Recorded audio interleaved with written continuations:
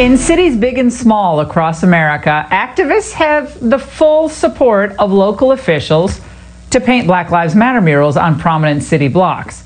Now, when the issue came to Redwood City, California on July 4th, it was quickly approved.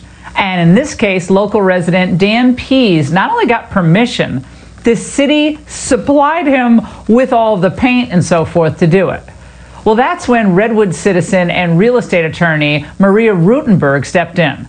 She didn't have an issue with the BLM message being displayed at all, but she just argued if city streets were now a public forum, she should be able to display her own mural, MAGA 2020.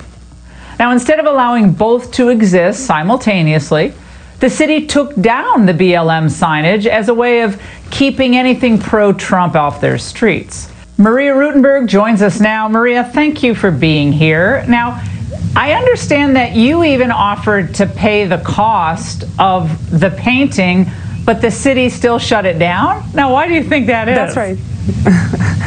well, uh, I guess they didn't want to see MAGA 2020 painted on a main street in the city. Well, they actually issued a statement, Maria, where they basically said this was only going to be a temporary Black Lives Matter mural, and they never intended it to be. I'll read it. The Black Lives Matter painting was intended for a short duration. Staff's concerned about public safety issues that may arise from painting murals on its public streets, which could result in driver confusion and traffic accidents. Right. Thus, the existing mural has been removed. Um, but you maintain that it's because you were going to call them on this, and if it's a public forum, let it rip. That's exactly right. And I believe that the city has obligation not to discriminate on the basis of a content of political speech. We're all equal when it comes to First Amendment.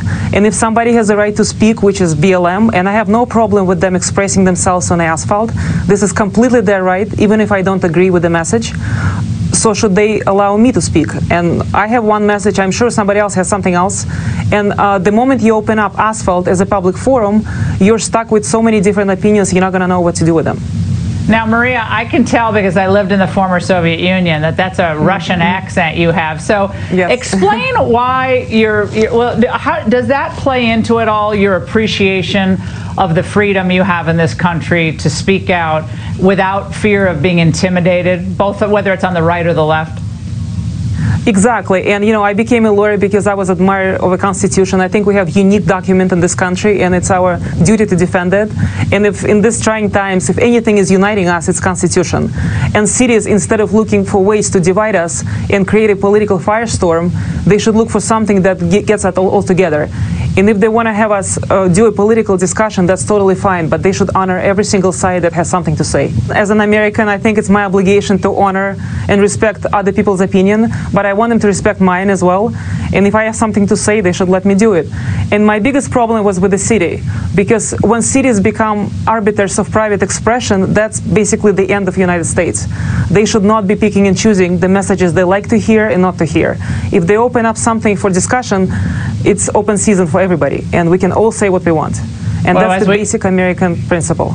Well, that's fair, and that's a truly liberal uh, perspective. Earlier in the month, by the way, the Redwood City Public Library had an artwork display featuring pieces from the city's BLM protest. Now, uh, something tells me they wouldn't put up an art display from a pro-life protest, in oh, other words.